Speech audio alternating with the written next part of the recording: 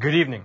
This right here is the World Economic Forum. It's the annual meeting that's held over in Davos, Switzerland, wherein the world's elites come together, usually in their private jets, in order to mingle, plan out the future, and also, ironically, to lay the groundwork for reducing the world's carbon footprint. Is that it allows us, the normal people, to catch a glimpse of the thinking of these particular individuals. Because very often, the World Economic Forum is a place where they say the quiet part out loud. In fact, throughout the years, the Davos elite have made some, you can say, highly disturbing statements which really don't get the media attention that they deserve. And in fact, when you piece all these individual statements together, you wind up with an overarching theme. The total control of humanity using the media, science, and technology to reshape democracies and form something like a global government. Let's go through the nine most dystopian things that are currently being pushed by the World Economic Forum right now, and then you can decide for yourself whether it's conspiratorial or not.